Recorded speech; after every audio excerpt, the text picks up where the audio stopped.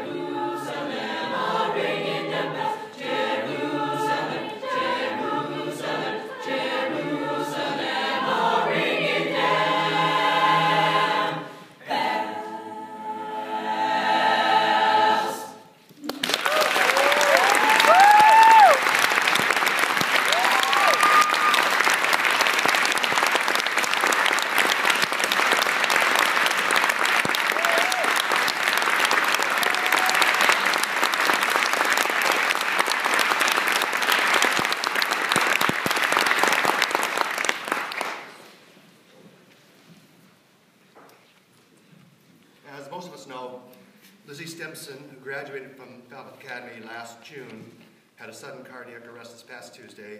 She passed away earlier today.